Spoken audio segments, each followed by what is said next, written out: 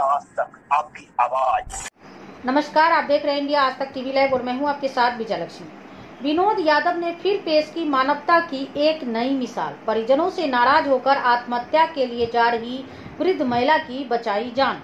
Amethi railway station RPF post के constable Vinod Yadav ने एक बार फिर मानवता की एक नई मिसाल पेश करते हुए रेल लाइन पर आत्महत्या करने के लिए लेटी एक वृद्ध महिला को बचाकर फिर से नया जीवन दान दिया है।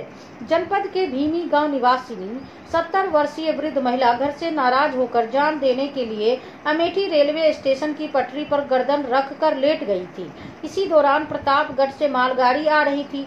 स्टेशन पर तैनात आरपीएफ के कांस्टेबल विनोद कुमार यादव की नज़र, जैसे ही रेलवे लाइन पर लेटी हुई वृद्ध महिला पर पड़ी, लगभग 100 मीटर की दूरी क्षण भर में तय करते हुए दौड़कर विनोद यादव मौके पर पहुँचे और रन थ्रू आ रही मालगाड़ी को दोनों हाथ उठाकर उसे अपनी रफ्तार धीमी करने का संकेत देते हुए तत्काल महिला के पास पहुँचे और उसे लाइन से उठाया और किसी तरह से समझा बुझाकर रेलवे स्टेशन के प्लेटफॉर्म पर पहुँचाया। इस दौरान मालगाड़ी के ड्राइवर ने सूझबूझ का परिचय देते हुए अपनी रफ्तार काफ़ी धीमी कर दी और महिला की जान बचाने में सहायता की।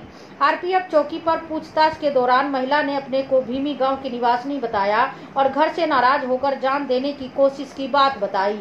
आरपीएफ पोस्ट के कर्मचारियों ने महिला के बताते हुए पते पर सूचना देकर उनके परिजनों को बुलाया और उन्हें समझा बुझाकर परिजनों के हवाले किया। आपको बता दें कि वही विनोद कुमार यादव ने, जिन्होंने रेलवे स्टेशन पर ट्रेन पर चढ़ते समय फिसल कर गिरते हुए कई यात्रियों की जान बचाई, वो रेल लाइन पर कुछ उपद्रवियों द्वारा गलत मनसा से की गई कार्रवाई को धता बताते हुए मौके पर पहुँचे और रेल लाइन को सही करते हुए ट्रेनों का आवागमन सुचारू रूप से जारी करवाया था। विनोद यादव के साहसिक व सराहनीय कार्यों को देखते हुए डीआरएम लखनऊ मंडल ने उन्हें पुरस्कृत करते हुए प्रशस्ति पत्र भी दिया था। विनोद यादव अपने साहसिक कारनामों की वजह से अमेठी आरपीएफ पोस्ट पर तैनाती के बाद से ही बराबर चर्चा में बने रहते हैं। अमेठी से उमेश कुमार शर्मा